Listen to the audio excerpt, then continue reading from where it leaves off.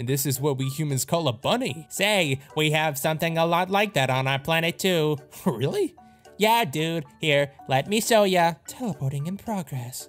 Ooh, dope. See? They look almost identical to your Earth bunny. Well, besides the color and antennas, of course. And ours are a bit bigger and carnivorous. Huh? I uh, did not mean to teleport this close.